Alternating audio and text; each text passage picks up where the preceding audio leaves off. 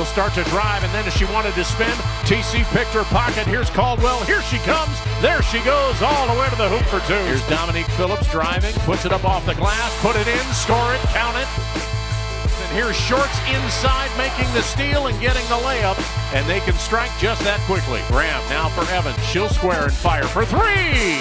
Double team, stop the dribble, throws it low. Caldwell going for the steal, comes up with it, and from her knees gets it off for Graham. Give it to Flowers, quick pass for Phillips. Somehow one hands it, moves to the hoop and scores. What a play! Look at the defense there by Love playing tough, getting on the ground with it. Lee. Lee will drive and has it ripped out of her hands. Get there to Ruhr. Straight away for three. Deadly combination here in the second half. Cross court Flowers looking for her first field goal and gets it from three. Lopes finding the open person. Same spot, same result. Flowers for three. Here is Nadia Evans. She'll fire a three. Out front for Shorts. Confident looking shot from 15 feet.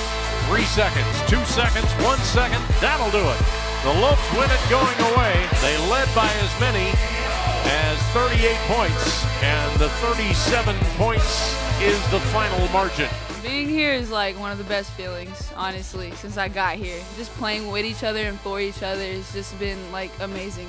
And the teammates, I could never ask for better teammates or coaches. When you come in and play this style, it, it requires a lot, it demands a lot, but to see those new kids come in and, and hop in and not miss a beat was fantastic. Your role might change every game, but when your number's called, you get ready to go out there and play hard. I got my family here, you know. I haven't had my family at a game in a while. Pretty much taking a tour of the entire arena and high fiving everybody. It's got to be a great feeling, Molly, because you have waited so long. I mean, this just means so much to us. The fact that we get this much support here, we just want to give them a show and put on um, a product to make them proud. I don't think I've ever been to a college women's basketball game or even played in one where the entire like student fan base is there, most of them are. Like it just shows you how much you know this school cares about our athletics and also women's athletics, which is a big difference compared to other schools.